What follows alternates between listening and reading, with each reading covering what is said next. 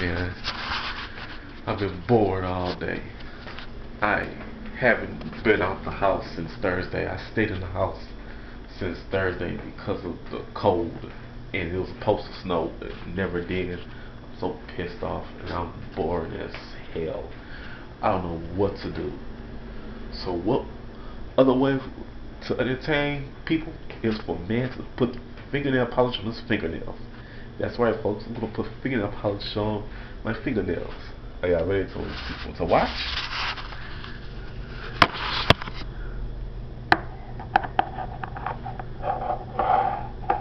Here we go.